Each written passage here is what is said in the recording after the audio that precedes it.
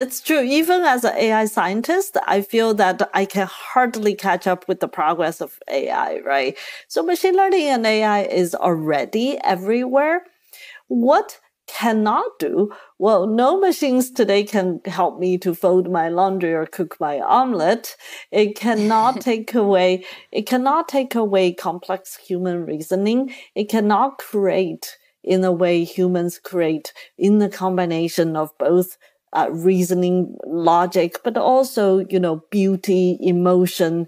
It, um, um, there is, you know, there's a quote from 1970s about AI, and I think that quote still is true today. It says that the most advanced computer AI algorithm will still play a good chess move when the room is on fire it, it, it's, it's a quote to show that machines are programmed to do tasks, but it's unlike humans. We have a much more fluid, organic, contextual, situational awareness of our, our own thinking, our own emotion, as well as the, the surrounding. And that is not what AI is today.